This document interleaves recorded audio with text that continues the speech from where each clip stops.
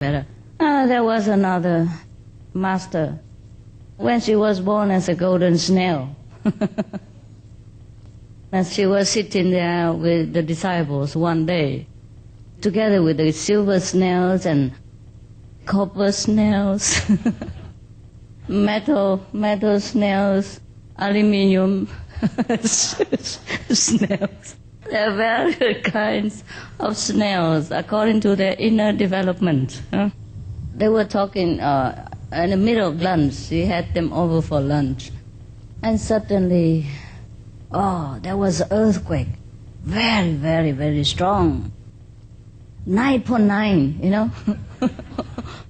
so all the snails were running as fast as the snail could. here and there, up and down, in and out, you know. Uh, they just bump onto the table and bump into the glasses door and everything. It's all very chaotic. And the house of the snails was shaking like this and all their horns were kind of twisting together.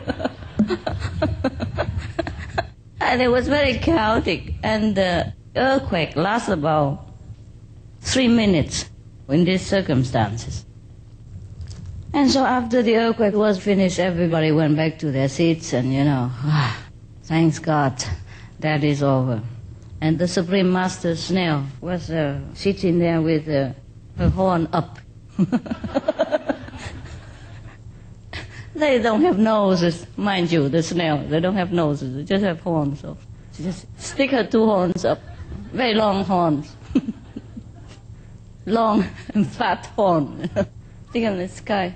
Quiet for a while, and the disciple couldn't bear it no longer. and asked the master, what is it? because they know every time if the master stick her golden horns up like that, she's about to make a very grand statement or some big lecture or something like that, and how to become Buddha in one second, thing like that. So they were very, very, very, you know, nervous and expecting. But the master just keeps sticking the horns up and don't say anything. Now finally the half golden and half silver attendant, you know, said, please be compassionate, oh master, and tell us what is the great thing that you have in your mind now. Don't hesitate longer. For all sentient beings are thirsty for the truth. Yes. So the master slowly descended her horn to, to an ordinary level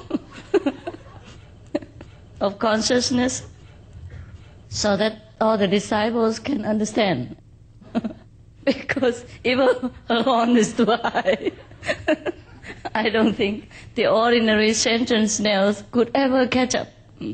So now she lower her horn up to here, like this. And she say, did you see I was very calm during the earthquake?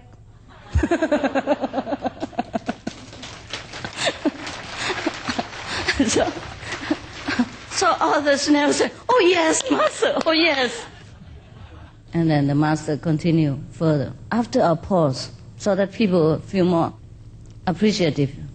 Did you see that I didn't run here and there like all of you fool? and then all the disciples, of course, of course, and all their horns clap together, you know, in unison to praise the master. And now the master snail say, did you see that I calmly sat here, sipping tea while you were running here and there like that? And the disciples say, Yes, we saw you calmly sitting here drinking, but there was a soya sauce that you drink. Not the tea.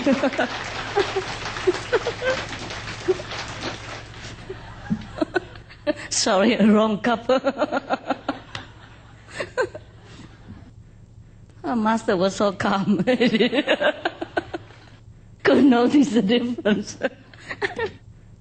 you got it, huh? So this is called the master ego. There are disciples' ego and master's ego.